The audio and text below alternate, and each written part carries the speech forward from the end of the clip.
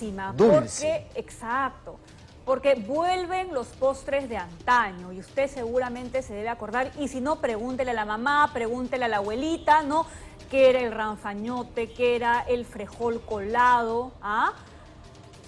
La, La mazamorra morada, la que creo- melcocha, Exacto, el, el- el- el arroz zambito. los guargueros.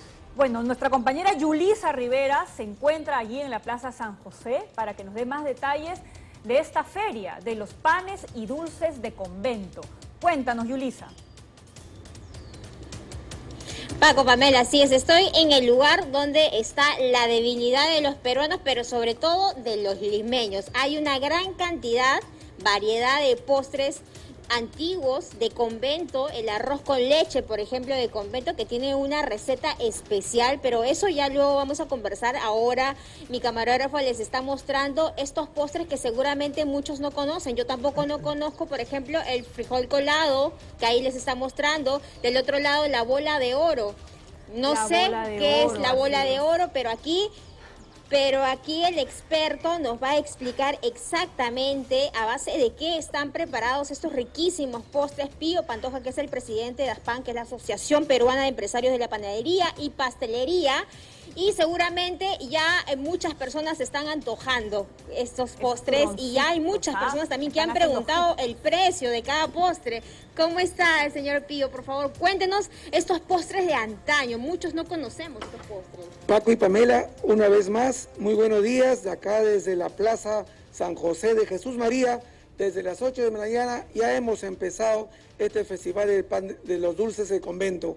Sí, como tú verás, la influencia colonial hicieron que venga el azúcar y aquí los postres que de antaño ya están apareciendo otra vez más. La campaña que estamos haciendo más de dos años con Dulce Perú y la Asociación Peruana de Empresarios de Panadería y Pastería, se está difundiendo estos postres que tradicionalmente nos han endulzado y nos han hecho olvidar los problemas políticos, los problemas que siempre hay en toda sociedad, pero la gente se tranquiliza acá probando los deliciosos postres y los deliciosos panes tradicionales. Ahora cuéntenos, por favor, ¿qué postres hay en esta mesa? Eh, yo conozco este, que es el pay de limón, pero los postres no tan conocidos, ¿cuáles son y a base de qué están preparados?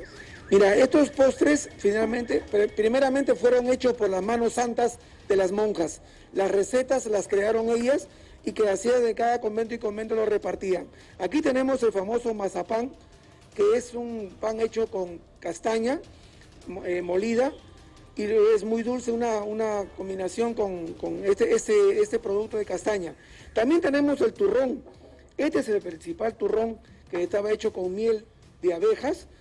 ¿No? Este sí probé en el colegio. Eh, Claro, Sí, claro, ya ves. Entonces la idea es rescatar estos, estos, estos postres de antaño y también nuestro delicioso Camotilla picarón, que muchos dicen que muchas veces quieren apropiarse, pero no, nuestro picarón también está en, en este festival. Yo tengo mucha curiosidad por el frijol colado. Explíqueme, por favor, ¿está hecho de frijol o lo llaman así? Sí, definitivamente está hecho de frijol. El, el principal insumo es el, el frijol que estaban hechos con las manos de las manos morenas. Que ellos, ¿Como un manjar? es eh, un poco más consistente que el manjar, es una masa del, eh, que tiene este frijol colado. Y ahora, este postre, la bola de oro. También tiene mazapán, es un queque humedecido eh, con frutas que lo hace característico y sobre todo el- la decoración, que es, como ustedes ven, la tiene en la forma de una bola. Y en esta bandeja, ¿qué es lo que tenemos? Veo frutos secos. Eh, el princi- uno de los principales insumos de la dul- del, del dulce peruano son los fru- frutos secos como es las pasas, las castañas, que además de ser dulce también ayuda al estómago. Y también se venden cosas también muy nutritivas. Por ejemplo, aquí están los alfajores de cacao y de quinoa. Incorporando a la receta los productos nacionales como son el cacao peruano y también tenemos eh, la- el manjar blanco hecho con leche pura, no leche de lata. ¿Cuál es el manjar blanco? Lo que tiene adentro, lo que tiene adentro nuestro alfajorcito. Ajá. Para abrirlo, A ver, miren, miren, Ahí compañeros. Uy, bien este es el manjar ¿ah? blanco puro de leche. Delicioso, ya me antojé uno. Ahora, este postre que tiene la forma de un pan que Ese es maz- mazapán. El mazapán es una masa que puede adquirir muchas formas y siempre ha- eh, se ha hecho el mazapán para poder darle figuras de, de- de- de frutas, en este caso de pancitos. Y el otro que está al costado que tiene chispas de dulces. También es una, un mazapán que está adornado con azúcar entera, rubia, azúcar rubia entera. Paco, te escucho. Sí, Yulisa, por ahí he visto una bandeja con tocino del cielo, que es uno de mis postres favoritos. A ver, que nos cuente Don Pío. Tocino del cielo. No, no conozco tocino del cielo. ¿Cuál es tocino del cielo? Lo traerán más tarde. Más tarde dice que Más lo van a lo van a traer. No Ah, Más está. en- te pensé que esperamos, Paco. confundido. Pensé que era tocino del cielo esa bandejita que estaba ahí, pero no. ¿Y de, dó- de cuándo a cuándo va a estar esta De- feria, para ir a visitarla?